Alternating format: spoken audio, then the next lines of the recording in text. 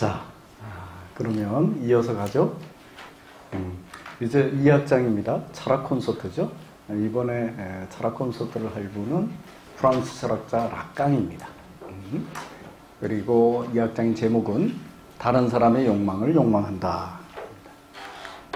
락강이 이렇게 생긴 사람입니다. 락강.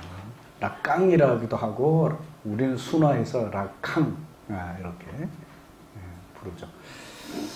프랑스 철학자. 어, 지금껏 저희들이 살펴봤던 철학자들은 현대 철학자들은 독일 철학자들이었죠. 음, 니체 예, 그리고 하이데거 어, 그리고 어, 프롬 그리고 하버마스까지 이번부터는 어, 프랑스 어, 철학자들입니다. 이 프랑스 철학자 지금 어, 미리 말씀드리면 락강을 살펴보고요. 그 다음에 들레즈를 살펴보고 또 보드리아르라는 철학자 그리고 어, 마지막으로는 데리다라는 철학자를 살펴봅니다. 이 프랑스 철학자들의 특징은 우리가 많이 들어봤을 겁니다. 포스트 모던 철학이다라고 이야기하는 바로 어, 그 철학 일종의 90년대부터죠. 아, 붐을 일으켰는데 세계적으로 그 우리나라도 어, 그런 유행에 민감하잖아요. 그래서 우리나라에도 프랑스 철학 붐이 일어났죠. 포스트 모던 붐이 일어나서 아, 책도 많이 출판됐고 음, 뭐 강연 같은 것도 많이 하고 어, 했습니다. 음. 그 어, 포스트 모던 프랑스 철학의 대표적인 주자들입니다. 지금 에, 이야기하는. 근데 이 사람들이 이 사람들이 그 이런 그 포스트 모던적인 어, 이 철학의 그 어, 생각을 어디서 가져왔냐 하면 독일 철학에서 가져왔어요. 특히 독일 니체 철학에서 가져왔어요. 우리 니체 철학을 살펴봤잖아요. 아, 니체 철학이 일종의 반역의 철학이다. 혹은 망치를 들고 하는 철학이다. 꽤 부수는 거죠. 어. 근데 이 깨부수는 어, 이그 대상이 대표적인 게 말하자면 이성입니다. 이성. 음. 모더니즘의 핵심 뭡니까? 모더니즘을 어, 우리가 알기 쉽게 옮기면 이성 중심주의예요.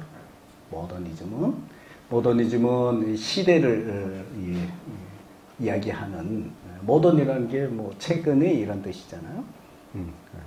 그래서 뭐 그런 거지만 사실 모던은 예, 중세에 그 빗대서 어, 이 모던인 거죠. 중세가 없이는 모던이 있을 수가 없죠. 근데 중세와 어, 우리가 비교했을 때 모던의 핵심은 이성이죠. 인간 이성.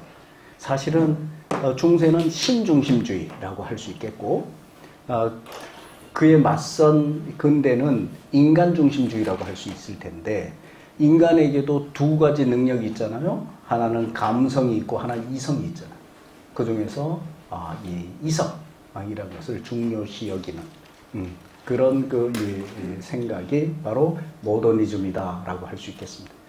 근데 니체는 이 이성을 엄청 비판하잖아요. 음, 그래서 이성 중심의 철학이 아니라 감성 중심의 철학을 주장한 게 니체죠. 감성 중에서도 의지. 예. 그래서 그 힘의 의지라는 것 굉장히 유명하잖아요. 데어 빌레 쪼 마흐트라고 해서 예. 마흐트가 힘이죠. 파워. 어. 힘을 향한 어. 빌레라는 영어로 will 어, 이 뭡니까? 의지. 어. 힘을 향한 의지. 아, 이거 굉장히 아, 유명하죠. 자, 이때 그 의지는 사실 어, 이성에 속하는 게 아니라 감성에 속하는 거예요. 예, 우리의 욕망이라든가 뭐 이런 것들이 뭔가. 그래서 예, 이 그런 니체의 예, 의지 철학, 아, 감성의 철학을 이어받은 이 프랑스 철학자들은 누구보다도 욕망이라는 것을 많이 연구를 했습니다. 중요시 여기고 그래서 이 락강은 욕망의 철학이라고 할 수 있는 거죠. 그 뒤에 이어서 어, 들레즈라는 철학자도 욕망의 철학이라고 할 수 있겠어요. 똑같이 욕망의 철학이지만 그 욕망에 대해서 서로 다른 어, 생각을 펼치는 거죠. 음. 자, 이렇게 프랑스 철학이 왜 욕망에 이렇게 관심을 갖느냐 하는 것은 바로 니체로부터 이어지는 이, 그러니까 뭐 이성 중심주의의 문제점을 어, 비판하는 이 니체의 어떤 생각 아, 이런 것들을 이어받은 거죠. 그래서 어, 감성을 중요하게 여기는. 아, 그래서 이 모더니즘, 이성 중심주의의 모더니즘을 비판하는, 깨트리려고 하는, 무너뜨리려고 하는, 혹은 해체하려고 하는. 그래서 이중 그 데리다라는 철학자는 프랑스 철학자는 우리가 마지막에 살펴볼 텐데 자기 철학을 일종의 해체의 철학으로 어, 이, 어, 이름, 이름을 붙일 정도로 해체라는 것을 굉장히 중요하게 여기죠. 그래서 무엇을 해체하느냐? 모든 것을 해체해야 한다라고 하지만 사실 보면 이성 중심주의를 해체하는 거죠. 자, 락강입니다. 이 사람은 또 그 니체만 우리가 어, 생각할 수는 없고 또 아주 왜냐하면 정신분석자이기도 해요. 그러니까 프로이트 프로이트 철학을 어, 또 계승 이어서 발전시킨 어, 사람이기도 합니다. 두 가지를 어, 예, 잘 생각하면서 예, 락강의 철학을 살펴보면 예, 좋을 것 같습니다. 자, 이 사람 그 책의 대표적인 책은 에끄리라는 이름의 책입니다. 자, 거기서 이런 이야기를 하죠. 우리 함께 읽어볼까요? 우리는 다른 사람이 욕망하는 대상으로 태어난다. 그래서 다른 사람의 욕망을 욕망한다. 어. 자, 이때 우리는 다른 사람이 욕망하는 대상으로 태어난다. 이 다른 사람이 누굴까요? 엄마. 네. 아빠도 아니고 엄마. 여러분 그 정신 분석에서 이 그 뭐냐 아빠는 별로 중요하지 않아요. 아빠도 중요하죠. 아빠는 해방꾼으로 중요해요. 어. 제발 좀 가만히 있어줘도 좋은데 어? 아빠가 자꾸 어, 예, 끼어들어 음, 엄마와 나 사이를. 어. 그래서 그런 역할을 아빠가 합니다. 뭐 그것도 중요한 역할이죠. 해방꾼도. 그런데 기본적으로 아, 이그 나, 나와의 어떤 관계에서 태어나면서 중요한 대상은 엄마예요. 그럴 수밖에 없죠. 태어난 아기 한번 보십시오. 태어난 아기는 예, 몸이 태어났지만 사실은 아, 입만 가지고 태어난 거죠. 그죠? 태어난 아기는 이 몸뚱이가 있지만 사실 어, 개한테 가장 중요한 것은 입이에요. 그래서 어, 걔가 뭐 칭얼거리고 뭐 울고 등등 하면 거기다가 뭘 물려주면 원래는 엄마의 젖을 물려주면 젖꼭지를 물려주면 만석 다 해결돼. 왜냐면 걔한테는 입이 모든 것이니까 태어난 아이는 그래서 그걸 뭐라 그래요? 구순기라 그러잖아요. 응? 예. 입만 입만 살아있는 입만 중요한 어, 이 시기다 해서 구순기. 음, 입이 중심이 되는 그런 어, 예, 거죠.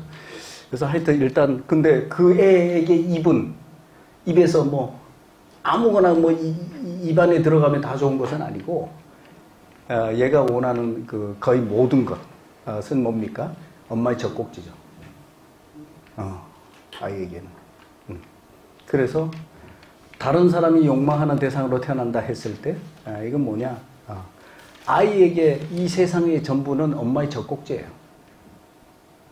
어, 이 세상은 이렇게 넓지만 그리고 온갖 것이 있고 온갖 사람들이 있지만 아빠도 있고 뭐 어, 누구도 있고 언니도 있고 뭐도 뭐 혹은 뭐 등등 다 있지만 혹은 대통령도 있고 뭐 아이한테는 그런 건 없는 거나 마찬가지. 아이에게 세상은 엄마의 젖꼭지다. 혹은 엄마다라고 할 수 있겠죠. 그래서 이런 얘기를 하는 거죠. 예. 우리는 태어날 때 엄마가 욕망하는 대상으로 태어난다. 예. 다른 말로 하면 세상이 욕망하는 대상으로 태어난다 할 수 있겠죠. 엄마는 세상의 모든 거니까. 세상 자체라고 할 수 있으니까. 아이에게. 음. 그래서 아이는 엄마의 욕망을 욕망하게 되는 거죠. 음. 엄마의 욕망을 욕망한다는 게 뭐냐? 욕망에는 두 가지 종류가 있어요. 하나는 어떤 대상을 욕망하는 게 있고요.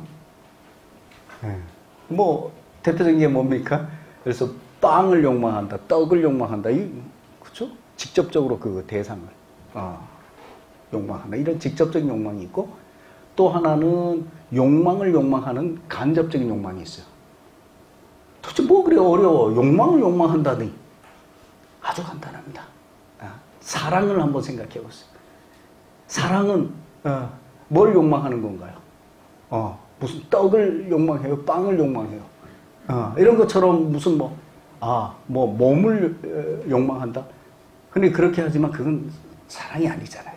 음. 사랑은 사실 뭘 욕망하는 거냐? 욕망을 욕망하는 거예요. 그게 뭔 소리냐 하면 상대가 나를 욕망하기를 욕망하는 거예요. 이게 어려우면 이렇게 하면 돼. 상대가 나를 욕망하기를 원하는 거예요. 욕망하는 원하는 거예요. 그렇죠? 사랑한다 하면 도대체 뭘 원하는 거예요? 사랑 왜 해? 응? 사랑 왜 해? 상대가 나를 욕망하기를 원하는 거죠. 어. 그 이게 욕망을 욕망하는 거예요. 그래서 사랑을 욕망하는 사람, 사랑을 원하는 사람한테 빵 주고 옛다 하고 떡 주고 뭐 이래봤자 소용없어요. 아, 그리고 사실 심지어 뭐 어, 다운표 치고 몸을 줘도 그 사람한테는 만족이 안 돼요. 왜냐하면 그 몸을 원하는 게 아니니까. 사랑을 원하는 거지. 몸을 원하는 건 뭡니까? 예를 들어서 그, 예, 어, 그, 돈 받고 사랑을 파는 매춘? 이 사람들이 나를 원합니까? 나를 욕망해요? 아니잖아요. 예, 네, 그렇죠. 그냥 몸을 주는 거지. 예, 사랑을 주는 게 아니거든. 예. 근데 사랑을 하는 사람은 그걸 원하는 게 아니잖아요. 예. 몸을 원하는 게 아니라 사랑을 원하는 거죠. 그 사랑이라는 건 뭐냐면 나를 사랑해 주기를 원하는 거죠. 그러니까 결국 사랑을 욕망하는 거다 혹은 욕망을 욕망하는 거다라고 얘기할 수 있어요. 사랑도 욕망이니까. 음. 자 그렇습니다. 그러면 엄마의 욕망을 욕망한다라는 얘기는 엄마가 나를 아, 사랑해 주기를 아, 원한다, 욕망한다 라고 할 수 있죠. 아기는. 그리고 이거 다른 말로 하면 태어난 아이에게는 엄마는 세상의 전부라 그랬죠. 네. 세상이 나를 어, 사랑하기를, 나를 좋아하기를 원하는 거죠.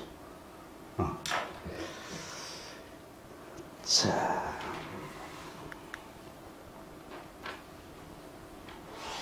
음. 자, 그래서 어, 라칸은 도대체 왜 우리는 엄마의 욕망을 욕망하게 되느냐라는 것을 프로이트의 그 어, 예, 어, 철학을 가져와서 설명합니다. 물론 그대로 설명하는 건 아니죠. 자기 나름으로 바꿔서 어, 이어서 발전시켜서 어, 설명합니다. 우리는 이 세 가지 세계 속에서 살아간다 그래요. 우리가 살아가는 세계는 하나는 실제의 세계가 있고 또 하나는 상상의 세계가 있고 또 하나는 상징의 세계가 있다고 합니다. 오, 뭐 말이 어려워. 실제의 세계는 real, 어, 리얼한 세계, 상상의 세계, 상상, 상징 뭐 이런 건 좀 알 것 같죠? 근데 그게 어떻게 차이가 있는지 어, 좀 아리송하죠. 음. 자, 이게 이렇게 동시에 세 개의 세계, 어, 세 가지 세계 속에서 살아간다라고 할 수도 있고, 또, 어, 아이의 발달 단계로 보면, 아이는 태어날 때 실제의 세계 예, 속에서 살다가, 그 다음 발달 단계, 좀 발달하면 상상의 세계 속에서 살게 되고, 그 다음 또 좀더 어, 발전하면 상징의 세계 속에서 살게 된다 할 수 있죠. 상징이 가장 대표적인 게 뭡니까? 언어잖아요. 어. 아이는 태어날 때부터 말을 할 줄 알아요? 아니잖아요. 글을 쓸 줄 알아요? 아니잖아요. 음, 그러니까 제일 마지막이지. 어.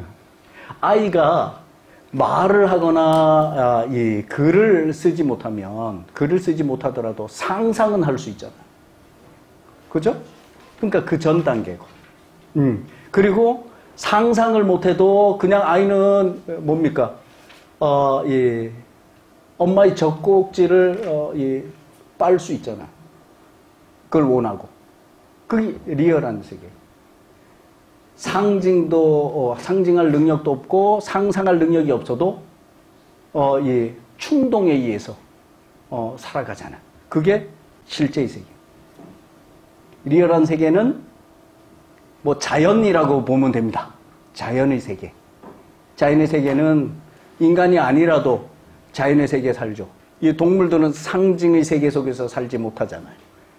그리고 어떤 동물은 뭐 상상을 할 수 있다 뭐 이런 주장도 있지만 사실 많은 동물들은 상상도 못 하잖아요. 그러니까 동물들은 자연 속에 사는 존재들은 다 리얼한 세계, 실제 세계 속에서 살고 있는 거예요. 근데 인간은 태어날 때 인간도 마찬가지로 동물로 태어나니까 다른 동물들처럼 자연 속에서 리얼한 세계, 실제 세계 속에서 사는 거예요. 상상도 없고 상징도 없는. 근데 살다 보면 예, 이러저러한 아, 일들을 경험하면서 상상의 세계 예, 속에 들어가게 되고 그리고 또 어, 어, 이러저러한 일들을 경험하면서 이제 마지막으로 상징의 세계 속으로 들어가게 되는 거죠. 자, 아, 이게 어떻게 구분되는지는 하나씩 살펴볼 거고요. 어, 이 락강이 왜 이걸 살펴보냐면 도대체 현대인들은 그러니까 모던 아, 시대를 살고 있는 사람들은 예, 이 다른 사람의 욕망을 욕망하면서 살더라. 그러니까 이, 이거죠. 왜 현대인들이 행복하냐 봤더니 행복한 사람 별로 없는 것 같아요. 다들 부리고 그냥 불행하게 사는 것 같아요. 근데 왜 불행하게 사느냐 가만히 살펴봤더니 이제 이 포스트 모더니스트들은 뭐에 관심이 있다고 했죠? 욕망에 관심이 있다잖아. 이 사람들은 뭘 욕망하면서 사나 봤더니 왜냐면 행복을 뭐라 보냐면 원하는 걸 할 수 있는 그 하는 것 하면서 사는 게 행복하게 사는 거라고 생각을 하니까 그 원한다는 게 욕망이잖아요. 그러니까 도대체 원하는 걸 하면서 사느냐 그리고 관심 있는 게 뭐냐면 뭘 원하느냐를 본 거죠. 도대체 뭘 욕망하느냐를 가만히 살펴봤더니 지들이 원하는 걸 원하지 않고 욕망하지 않고 남들이 원하는 걸 욕망하면서 살더라. 그러니 행복할 수가 없죠. 예를 들어서 어, 내가 뭐 어, 이 짜장면을 욕망 좋아한다고 합시다. 그럼 내가 짜장면을 먹어야 행복할 텐데 예, 엄마가 짜장면은 건강에 안 좋아.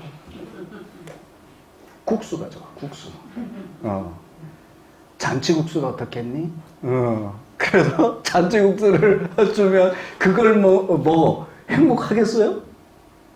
아니잖아. 응? 내가 좋아하는 거는 다른 건데. 짜장면을 좋아하는데 짜장면을 먹어야 행복하지. 예. 엄마가 좋아하는 어, 이 잔치국수를 먹는다고 내가 행복할 리가 없죠. 근데 현대인들은 대부분 자기가 좋아하는 것을 욕망하지 않고 남들이 예, 남들이 세상이 좋아하는 것을 욕망하더라. 아, 자, 이게 뭐 그다지 새로운 것은 아닙니다만 한번 가만히 생각해 보세요. 내가 좋아하는 것들이 뭐지? 예. 혹시 내가 좋아하는 것들이 많은 남들이 좋아해서 내가 좋아하는 것들은 없을까? 혹은 내가 좋아하는 것들이 대부분은 어쩌면 남들이 좋아해서 내가 좋아하는 건 아닐까? 근데 가만히 살펴보면 내가 진짜 좋아하거든요. 어? 근데 내가 이 진짜 좋아하는 걸 좋아한다 해서 여기서 끝나지 말고 내가 왜 이걸 좋아하게 됐을까를 가만히 보면 예, 예를 들어서 뭐 아까 의예과 같은 경우 아 나 의사 되고 싶어 하는 애들이 있죠. 어, 절반 가량은 자기가 오래서 왔다니까. 예. 근데 그 친구들은 근데 진짜 그게 그 친구들이 원하는 걸까? 의사가 되는 것을 진짜로 그 친구들이 순수하게 예, 자기 의지로 그걸 원하는 걸까? 그건 모를 일이에요. 왜냐? 사람들이 어렸을 때부터 계속 의사가 좋은 거야. 뭐 아까 얘기했지 않습니까? 병원에 갔을 때 의사 선생님 보면 야 멋지지 않니? 뭐 어, 의사 선생님 타고 다니는 그 병원 앞에 세워진 차 보고 아 멋지지 않니? 뭐 온통 이런 얘기. 의사 되라고 한마디도 안 했어요. 의사는 좋은 것, 예를 들어서 의사 되는 게 좋은 거다는데 의사 되라 하는 말을 한마디도 안 해도, 음, 그 무언의 암시, 그게 엄마가 얘기를 안 해도 그 수많은 주변 사람들이 의사를 대하는 방식, 의사에 대해 이야기하는 방식, 이런 것들을 쭉 접하다 보면 자기도 모르게, 아, 의사는 좋은 거구나. 어, 그럼 나도, 어, 의사 되는 걸 좋아한다. 의사를 좋아한다. 어, 의사 되고 싶다라는 생각을 욕망을 갖게 되죠. 그럼 그 욕망은 그럼 나의 욕망인가 아니면은 세상의 욕망인가를 생각해 볼 수가 있죠. 음. 어쨌든 그러면 도대체 이 현대인들은 많은 현대인들은 세상이 원하는 세상의 욕망을 욕망하더라. 그래서 어, 행복하지 않더라. 그러면 어떻게 해서 현대인들이 예, 그런 지경에 이르게 됐을까? 락강이 궁금한 게 그런 거예요. 어. 그래서 이걸 어떻게 설명할 수 있을까? 그러니까 아 프로이트가 있었지. 예, 그러니까 프로이트 이론 혹은 프로이트 철학을 빌려서 한번 아, 이걸 설명해 보자. 그래서 이렇게 설명합니다. 자, 우리는 딱 태어나면 어, 느 세상에 태어납니까? 실제의 세계에 태어나죠. 실제의 세계라는 것은 리얼한 꾸밈이 없는 예, 뭐 상상으로 만들어냈거나 혹은 상징으로 만들어냈거나 이런 거 없는 예, 그런 세계에 태어나죠. 근데 이 실제의 세계는 어떤 세계냐? 뭐가 지배하는 세계냐면 충동이 지배하는 세계. 음. 어, 여기는 뭘 상상해서 그 상상에 따라 뭘 어, 행동하는 게 아니고 상징 같은 걸 만들어내서 그거에 따라 아, 예 그죠 상징 symbol이잖아요. 여러분 예를 들어서 어, 이 태극기만 보면 가슴이 뭉클하고 아, 뭔가 아, 이 가슴에 손을 갖다 대야 될 것 같고 뭐 이런 것들 아, 그런 거는 상징이 우리를 움직이는 거예요. 상징에 따라 사는 거예요.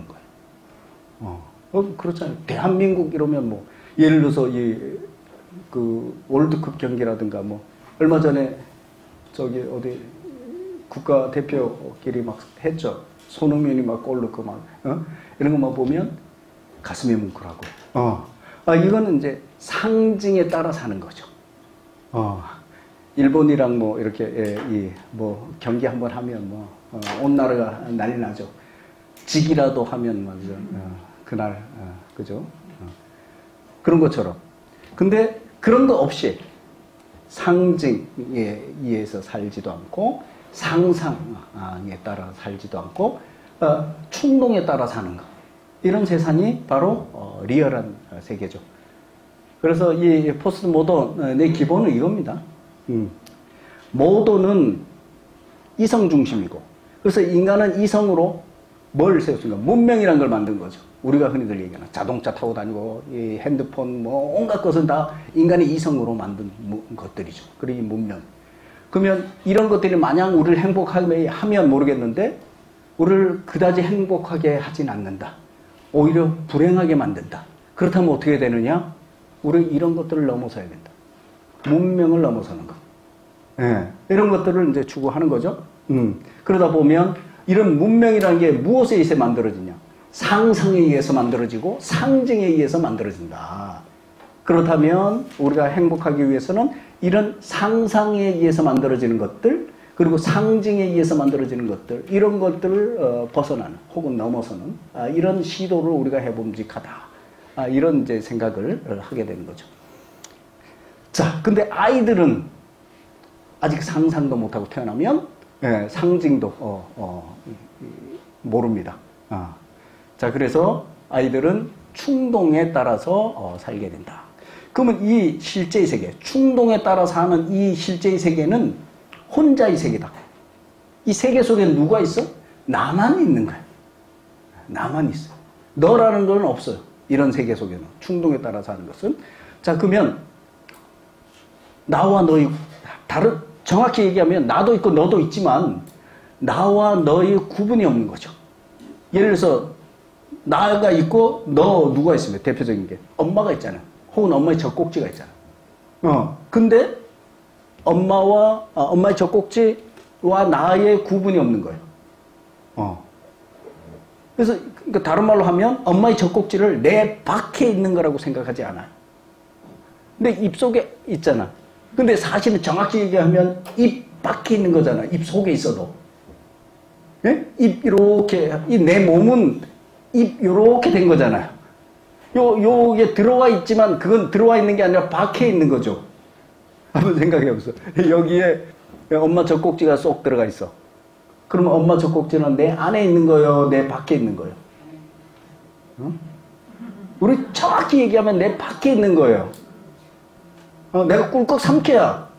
젖꼭지를 꿀꺽 삼켜야. 그래서 이, 이 속으로 들어가야 비로소 그래서 그게 뭐 이, 이 피로 들어가고 살로 들어가고 뭐 등등을 어, 해야 비로소 어, 내 안에 들어가 있는 거지만 입속에 들어있다 해도 사실은 내 밖에 있는 거거든. 그럼에도 아이는 그걸 내 밖에 있다고 생각하지 않고 예, 내 안에 있다라고 생각하는 거예요. 어.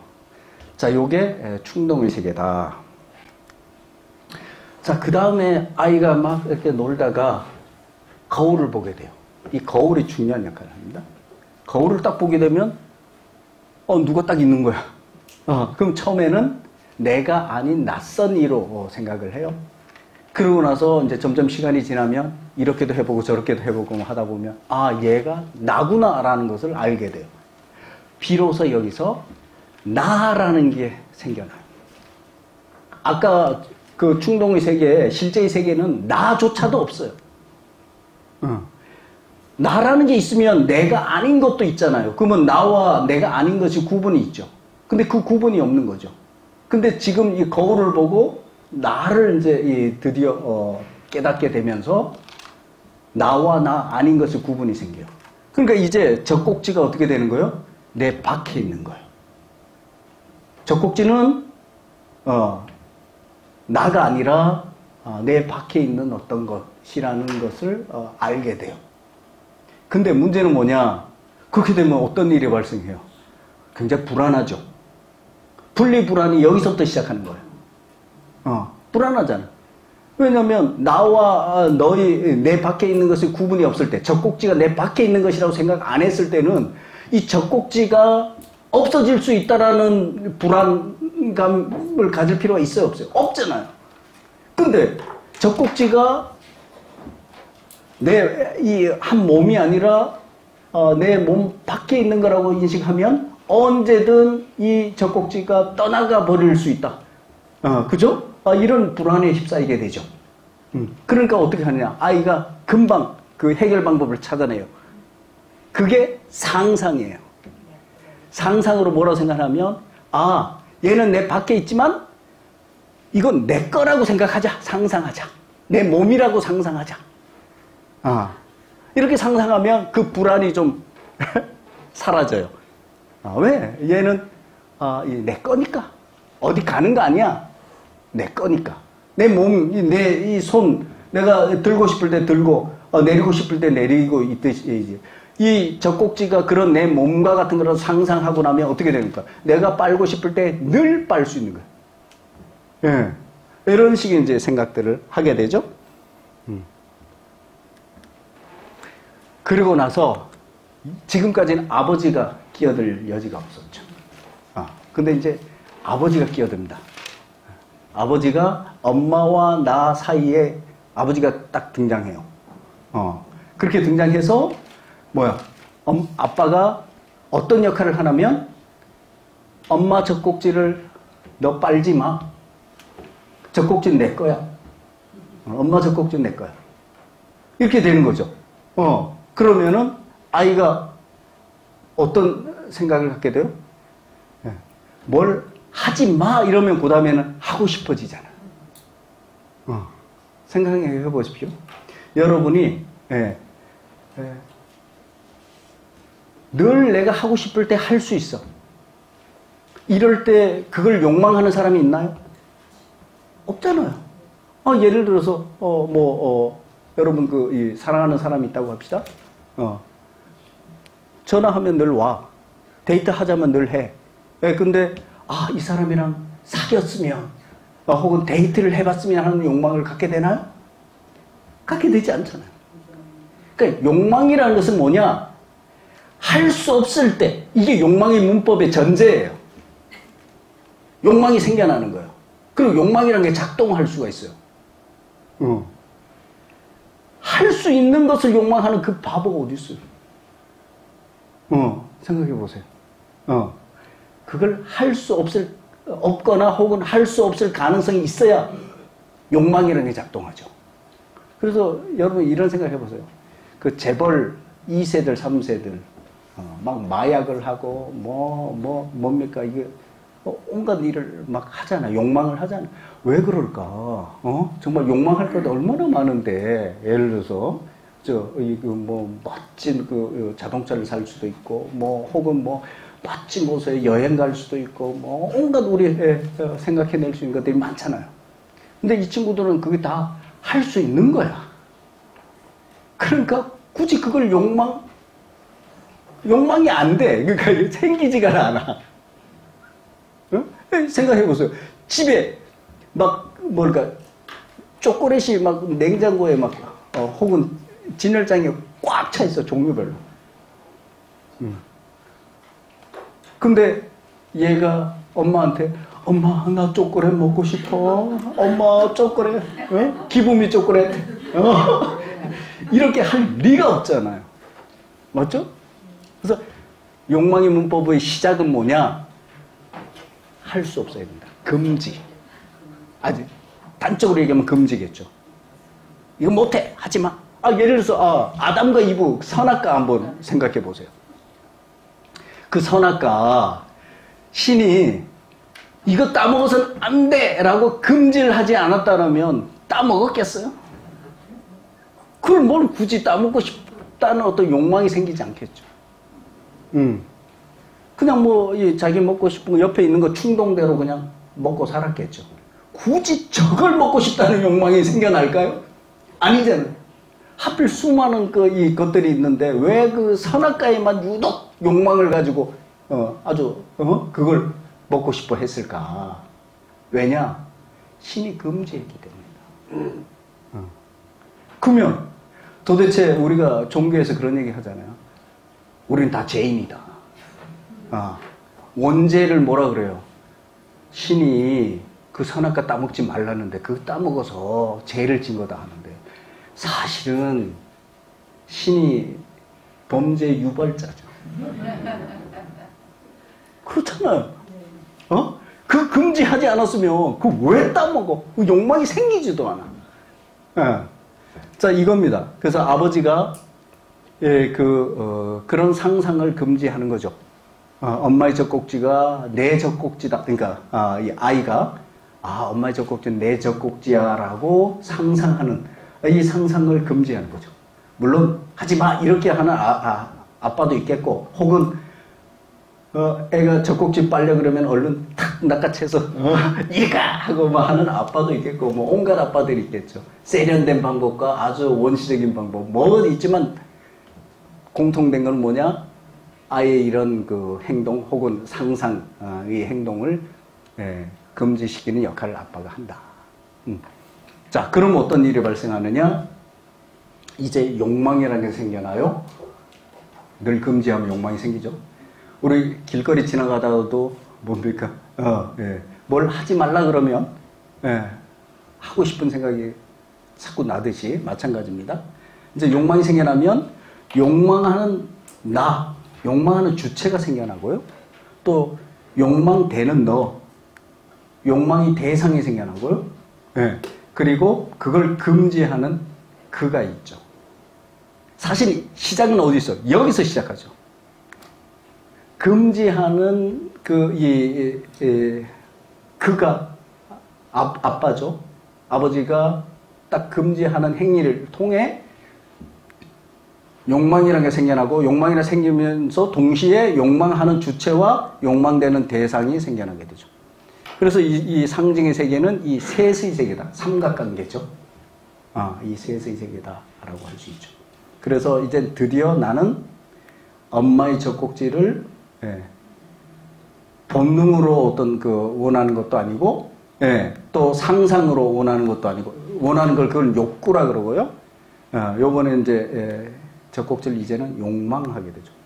영어로 하면 욕구는 어, 그러니까 상상의 단계에서 이 엄마의 젖꼭지를 어, 이그 원하는 것은 욕구한다라고 해서 need need라고 하고요.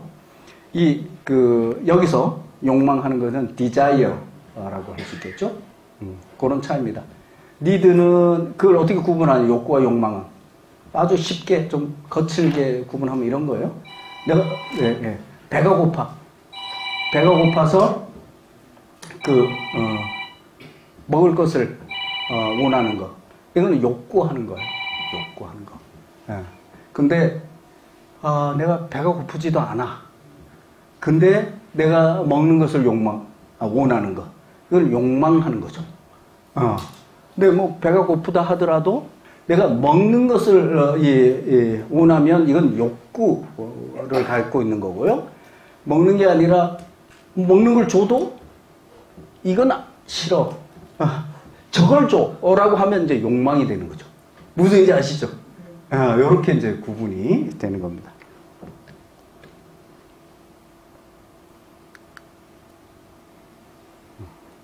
그래서 어, 이런 그 세 가지 단계를 거쳐서 어, 나는 에, 엄마의 욕망을 욕망하게 되죠.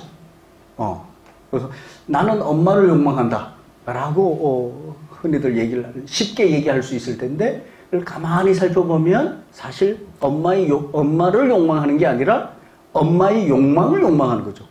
그럼 엄마의 욕망을 욕망한다는 뭐냐 하면 나는 엄마가 나를 욕망하기를 욕망하죠. 아. 자, 다른 말로 하면 나는 엄마가 나를 좋아하기를 바라는 거죠. 네. 엄마가 나를 좋아하기를 바라는 것. 이걸 이제 네, 엄마가 나를 욕망하기를 욕망한다. 그리고 그걸 줄여서 나는 엄마의 욕망을 욕망한다. 라고 얘기할 수 있겠죠. 음. 자, 그렇게 되면 엄마가 나를 어, 욕망하기를 내가 바란다면 내가 어찌 해야 될까요? 엄마가 나를 욕망하도록 하, 하길 원하겠죠. 어? 그렇게 행동하려고 하겠죠? 어. 그러면 어떻게 해야 돼? 엄마가 나를 욕망하게 하려면 엄마가 욕망하는 것을 내가 하면 되죠. 어. 혹은 하길 원하면 되죠. 어. 이런 거죠. 그래서 에, 엄마가 욕망하는 게 뭘까? 어렸을 때 보면 예, 울지 마. 그럼 내가 아까 아파도 예, 슬퍼도 깊은 척, 아파도 강한 척을 하게 되죠. 아이가 아이답진 않죠. 음, 아이는 슬프면 울고, 예, 아프면 또 울고, 예, 우는 게 아이 일인데 예, 슬퍼도 안 울어, 아파도 안 울어. 아, 왜? 엄마가 우는 걸 원하지 않으니까. 어. 근데 엄마가 원하지 않는다고 왜 내가 그걸 해야 돼? 네. 왜? 엄마가 나를 사랑해 주기를 아, 내가 바라니까. 아, 이렇게 되는 거죠.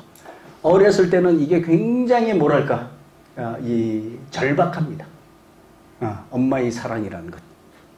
그래서 어렸을 때 그 아이의 절박함 왜? 아이가 원하는 모든 것이거든. 정말 에브리싱이에요. 엄마의 젖꼭지가. 어, 다른 건 다 필요도 없어요. 근데 그 엄마의 젖꼭지를 안 주면, 예. 그리고 이, 자기가 원하는 것을 얻을 수 없으면 그, 그 욕구가 충족되지 못하고 계속 남아있는 거죠. 어디 속에? 무의식 속에. 그래서 다 컸는데도 그 충족되지 않은 욕구 때문에 계속 어, 무엇인가를 어, 욕망하게 되죠. 근데 그 욕망하는 대상은 사실 왜 욕망하게 되냐면 엄마의 젖꼭지를 자기가 가질 수 없어서 어, 이그 어, 욕망을 한 건데 근데 더 이상 엄마의 젖꼭지를 가질 수 있어요? 다 컸는데. 예, 엄마 젖꼭지 빨면 어, 이 대학생이 엄마 젖꼭지 빨면 미쳤다 그러죠. 얘가 미쳤냐? 너 오늘 뭐 못 먹을 거 먹었냐? 뭐 이런 식. 어. 그러니까 이 그 어른이 돼서는 어른이 돼서도 그 욕망은 여전히 충족되지 않은 채로 있기 때문에 그걸 무의식적으로 계속 그런 욕망을 갖고 있는데 그걸로 충족이 안 되면 어떻게 합니까? 이걸 이제 욕망이 미끄러진다 그래요. 락강이.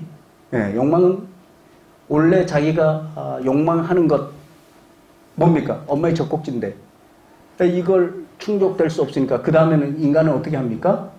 점점 자라면서 이게 욕망이 미끄러지니까 다른 욕망들로 어, 예, 대체하려고 그래요.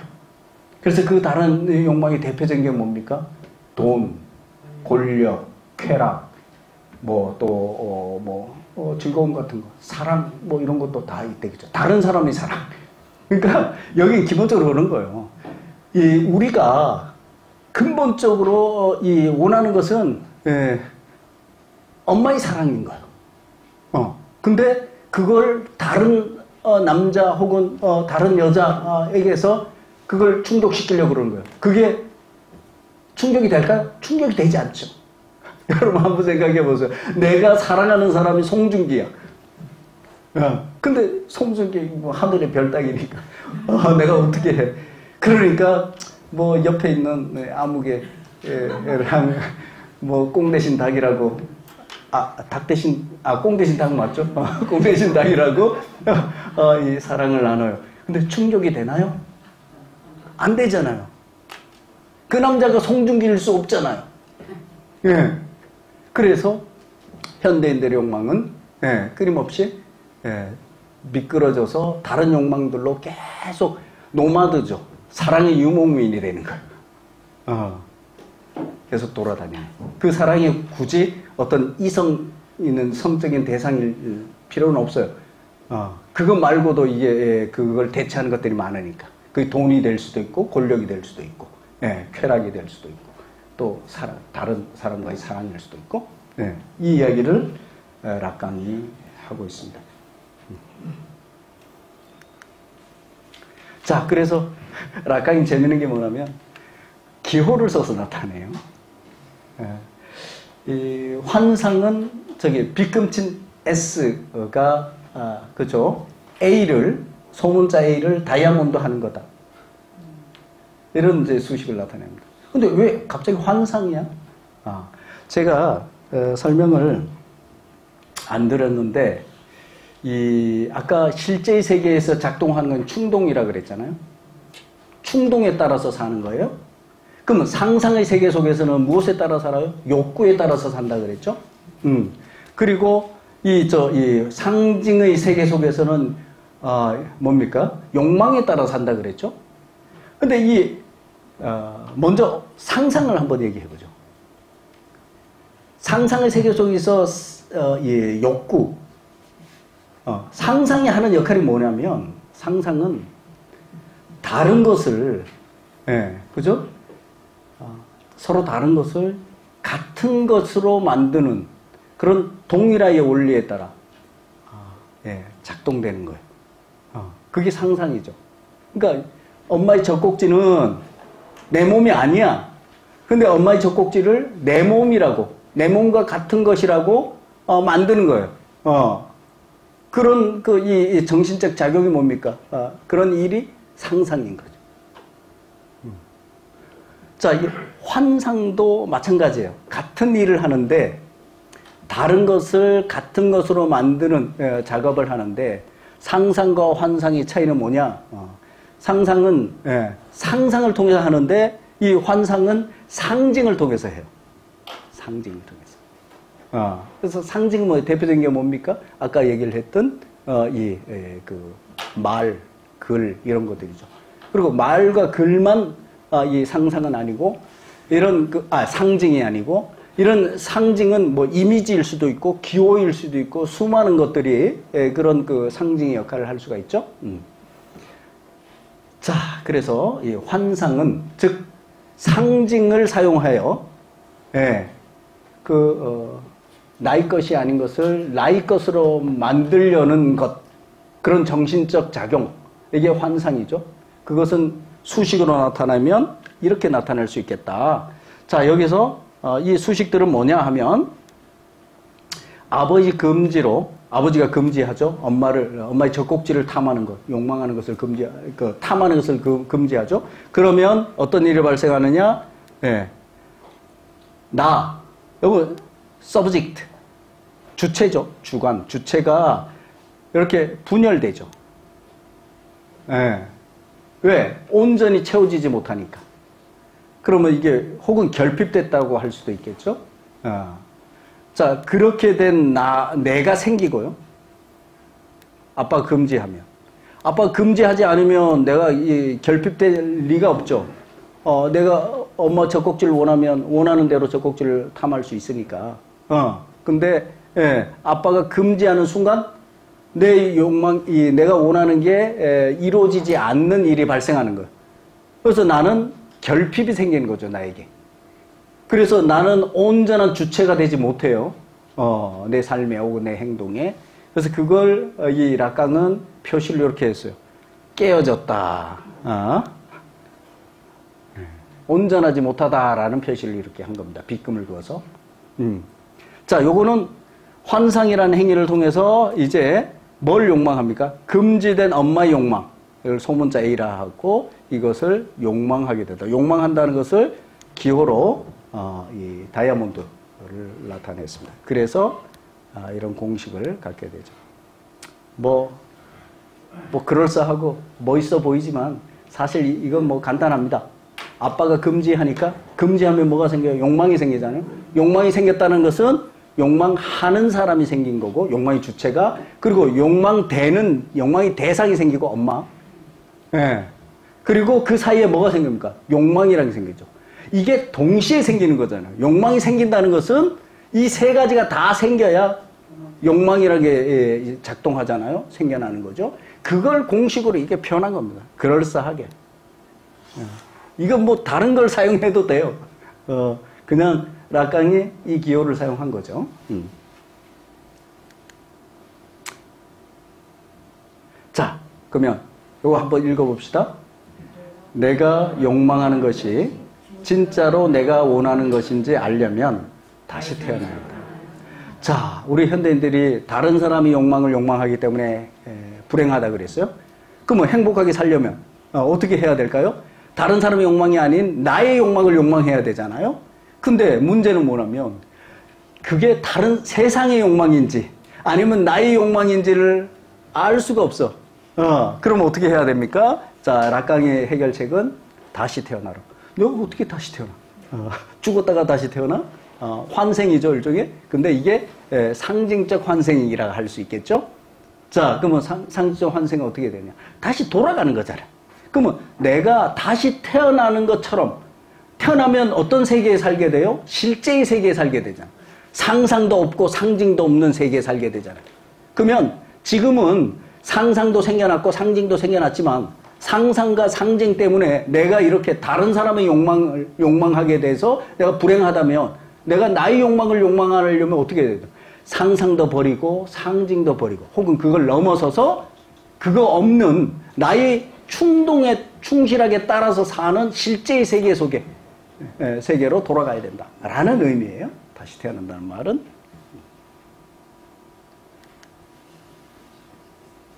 자, 이거 한번 읽어볼까요?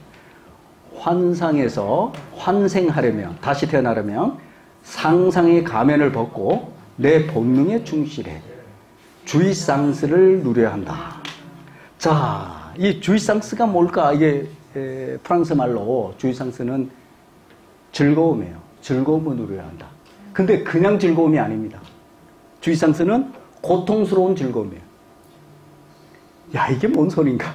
도대체 이게 말이나 돼? 형용 모순 아니야? 어? 예를 들어서 마치 그 네모난 원이라는 말처럼 어, 원이 네모날 수 없잖아요. 어? 네모가 원일 수 없고 어. 어떻게 고통스러운 것과 즐거운 것이 같이 붙을 수가 있어? 고통스러운 즐거움이라는 게 가능해?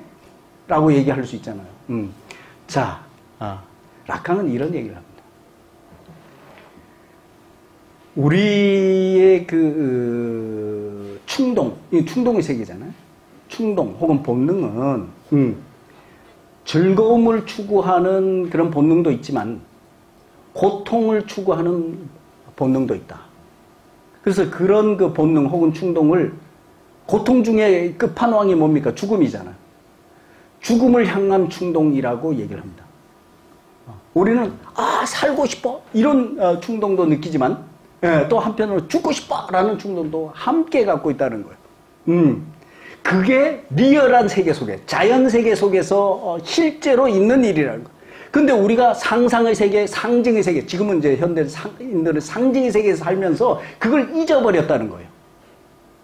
고통이면 고통이고 즐거우면 즐거움이어야지라는 생각을 한 거예요. 왜냐하면 상징은 이 구분이 분명해야 돼요. 그렇잖아요. 고통이면 고통을 상징하는 거고 즐거움은 즐거움을 상징하는 것이야지 어떤 상징이 그 두 가지를 다 상징하면 이건 상징이 아닌 거죠. 상징의 대표적인 기호잖아요.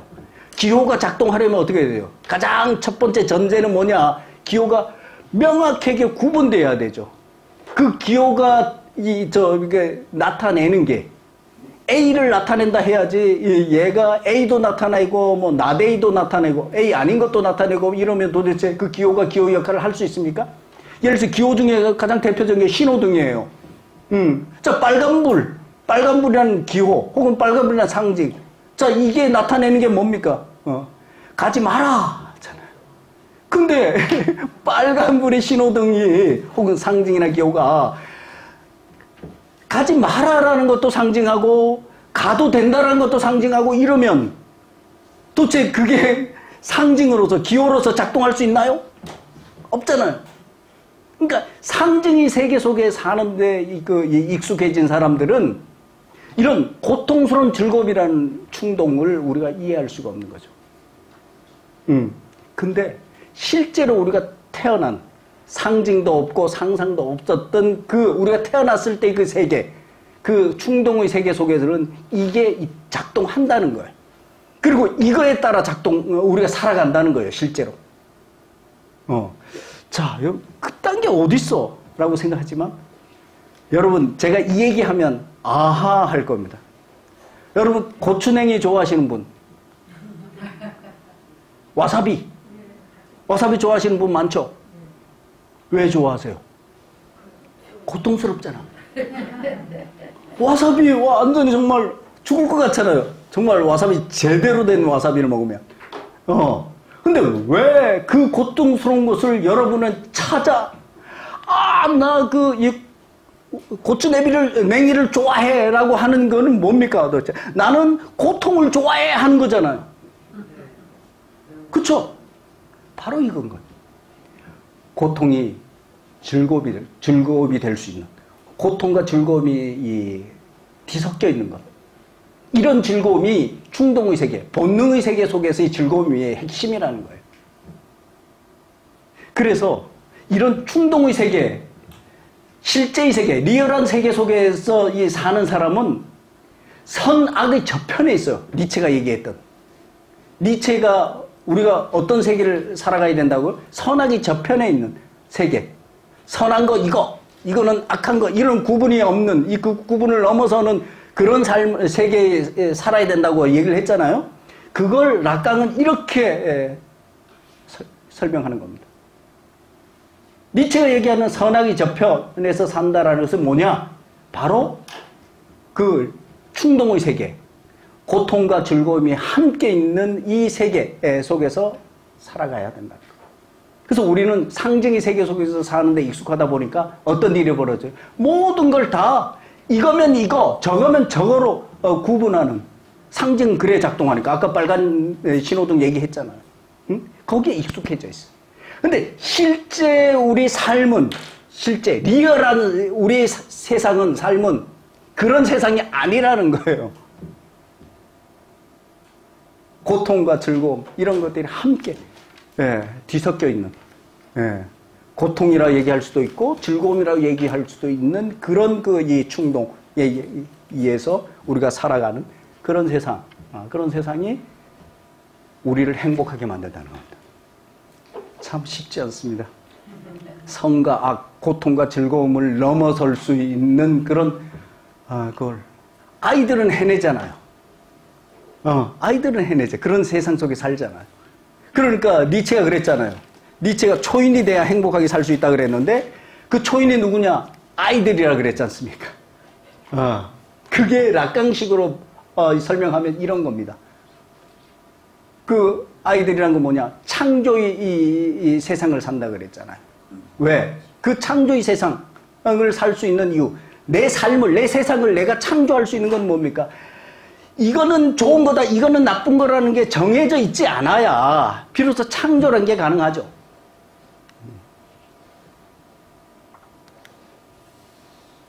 좋습니다. 이제 정리해서 3악장입니다.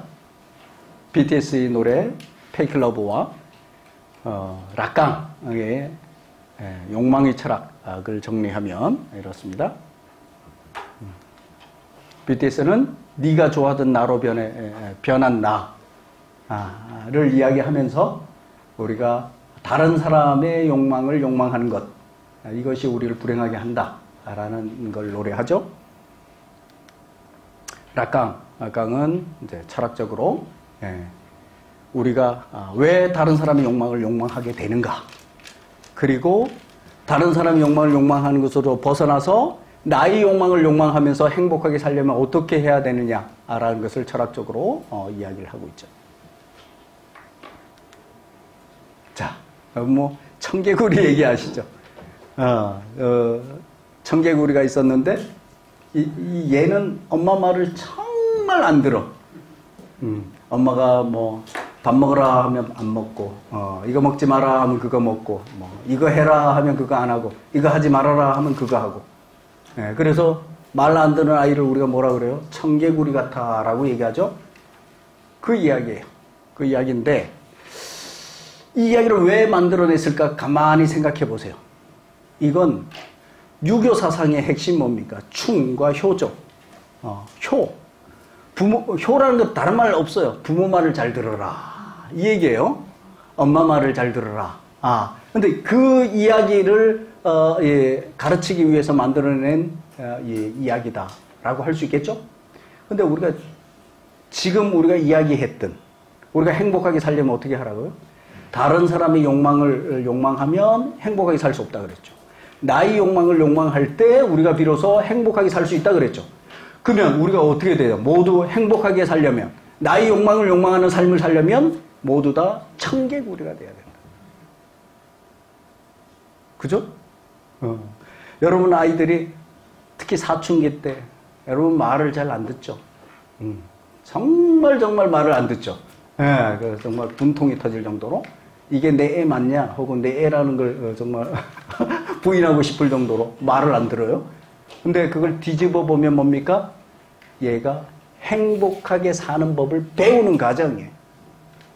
행복하게 살려면 어떻게 해야 된다고? 엄마의 욕망을 욕망해서는 행복하게 살 수가 없어. 엄마는 행복하겠지. 엄마는 행복하겠지. 예. 애가 난 별, 별로 의사 되고 싶지 않은데 에, 내가 열심히 공부해갖고 어, 의대 나와서 의사 되면 행복한 사람 누구? 엄마죠, 엄마. 엄마가 행복하죠? 정작 나는 행복하지 않아. 왜? 그게 나의 욕망이 아니었기 때문에. 그렇다면 아이를 어, 나의 욕망에 따라 어, 나의 욕망을 욕망하는 삶을 살아서 행복하게 되려면 사춘기 때 내 말을 안 듣는 거 아주 화, 어, 속상하고 어, 화나고 어, 하지만 그때 에, 마음을 고쳐먹고 아 나는 기쁘게 받아들여야 하겠다. 어떤 사람들이 그런 얘기하죠. 우리 애는 사춘기 몰라요. 그게 뭐예요? 사춘기가? 우리 애는 그런 거 몰라요. 어. 아주 자랑스럽게 얘기를 하는데 그걸 뒤집으면 뭡니까? 우리 애는 자기의 욕망을 몰라요. 내가 다 가르쳐 주니까. 내 욕망이 이거야. 이걸 네 욕망으로 삼아. 생각하고 어, 네 욕망, 욕망이라 생각하고 그걸 추구해. 뭐 딱히 너 욕망이란 거, 어, 그게 어딨어. 어. 라고, 어, 애를 키우는 거죠. 그럼 그렇게 자라난 아이 행복할 수 있을까요? 자기가 무엇을 욕망하는지, 무엇을 좋아하는지를 몰라. 평생. 예. 그러니까 어떻게 결혼한 지 벌써 오래돼서 나이가 뭐 마흔이 다 넘어갔는데 마흔은 불혹이라 그러는데 아, 이 친구는 불혹에 40살 되기 전에 벌써 불혹이에요. 어렸을 때부터. 예, 뭐 의심스러운 게 없어. 어, 자, 예, 내가 뭘 해야 될지, 예, 하면, 혹은 심지어 내가 뭐 좋아하지? 모르면 엄마한테 물으면, 엄마, 내가 뭐 좋아해? 예, 무슨 음식 좋아하지? 혹은, 심지어는 사람까지 물어. 아, 내가 누굴 좋아하지? 어떤 사람을 좋아하지? 어, 그래서 누구랑 결혼해야 되지? 어, 누구랑 연애하면 되지? 예. 자, 다시 한번 돌아가면, 우리가 아, 행복하려면 청개구가 돼야 한다. 그리고 자식이 행복하게 살기를 바라면 청개구가 되는 것을 바라야 된다. 아시겠죠? 음. 자, 요거 한번 읽어봅시다. 자유는 내가 좋아하는 나가 되려는 욕망이다. 다른 사람의 욕망을 욕망하는 이에겐 나만이 세상을 만드는 정직한 삶은 없다. 예, 철학 인터뷰입니다. 자, 엄마의 욕망을 욕망하는 것이 나의 욕망을 욕망하는 것이 되게 하려면 어떻게 하면 될까? 예? 청개구리. 예, 청개구리가 되게 하면 된다. 아. 자, 이 메타적인 건데 이 엄마의 욕망이 엄마의 욕망이 너희 욕망의 욕망을 욕망하는 것이 엄마의 욕망이라면 예 그러면 엄마의 욕망을 욕망하는 것이 나의 욕망을 욕망하는 것이 되겠죠. 아이가 물어 어 엄마 뭐 먹어야 돼? 그러면 어 너 좋아하는 거 먹어. 어, 아니 내가 뭘 먹는 걸 엄마가 좋아하냐고 어, 나는 네가 좋아하는 걸 먹는 걸 좋아해. 엄마, 나 누구랑 사귀어야 돼? 누구가 누구랑 사귀는 걸 좋아해? 어. 네가 좋아하는 사람이랑 사귀는 걸 엄마는 좋아해. 엄마 나 뭐가 돼야 돼? 어, 의사 되는 거 좋아해? 아니 나는 너가 되고 싶은 것을 되, 되, 되고 싶은 걸 되는 거 그걸 엄마가 좋아해. 응? 그렇게 얘기해 주면 돼. 어. 그러니까 사실 엄마가 그런 걸 원한다는 거, 엄마의 욕망이 그런 거, 엄마가 너한테 바라는 게, 엄마가 좋아하는 게 뭔지, 바로 그걸 좋아한다라고 얘기를 하면 어렸을 때부터 계속. 그러면은 갈등을 일으킬 필요 없이, 왜냐면 애는 자연스러워, 세상은 전부 다 엄마밖에 없으니까. 세상은 태어나면 엄마 젖꼭지가 다, 다 전부니까, 예, 자기에게는 엄, 엄마가 엄청 소중한 거예요. 근데 그 소중한 엄마가 뭐 원하는 것, 바라는 게 뭐예요? 내가 내가 좋아하는 대로 원하는 대로 세상을 살아가는 거라는 것. 음. 그러면 이거죠 뭐. 아이는 아무 걱정 없이 네, 자기가 좋아하는 대로 살면 돼요. 자기의 욕망에 따라. 아, 그렇죠? 근데 이런 엄마 되는 거 쉽지 않죠. 어, 처음에는 이랬다가 애가 공부하는 걸 좋아하지 않고 맨날 노는 걸 좋아해. 공차고 뭐 게임하고 이런 것만 맨날 좋아하면 생각이 좀 바뀌겠죠? 그 생각을 계속 유지하기는 쉽지 않을 겁니다. 음. 자, 이건 내가 아까 아, 잠깐 생각이 나서 써놓은 건데 나의 욕망을 욕망하는 로봇과 자기 욕망을 욕망하는 사람 중에 내가 만약 사랑을 나눌 수 있다면, 선택할 수 있다면, 네, 누구와 선택을 할까? 아니, 사랑을 나눌까? 네. 그러니까 이, 이, 로봇이라 그래서 그렇지 사람으로 바꿔도 돼요. 나의 욕망을 욕망하는 사람과 자기 욕망을 욕망하는 사람 중에 어느 사람과 사랑을 나눌까? 나의 욕망을 욕망한다는 뭐냐면, 어, 예를 들어서, 어, 예. 뭐, 늘 내가 원하는 대로 하는 거야. 내가 원하는 대로, 어, 뭐, 뭘 먹고 싶냐?